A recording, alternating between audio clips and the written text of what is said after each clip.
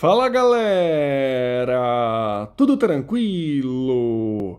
Aqui quem está falando é o Cooper Colored e hoje estou trazendo mais um vídeo para vocês no canal. Neste vídeo eu vou ensinar a como redefinir as configurações da câmera do celular Samsung Galaxy S10+, S10 Plus. Para que serve isso?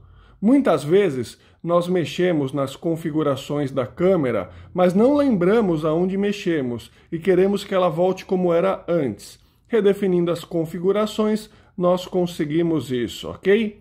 Bom, você vai procurar a câmera no seu celular e vai clicar nela. A minha está aqui no canto inferior direito. Vou clicar nela. E aqui na câmera, você vai no canto superior esquerdo, onde tem aquele símbolo de engrenagem. Clica nele. Aqui você vai baixar até o final. E aqui, ó, redefinir configurações. Clica aqui. As configurações da câmera serão redefinidas. Clique em redefinir.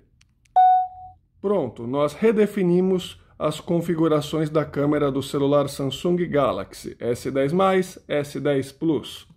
Espero que vocês tenham curtido a dica. Se curtiram, deixem um like, um joinha, um curtir. Se inscrevam no canal. Valeu, muito obrigado e até mais.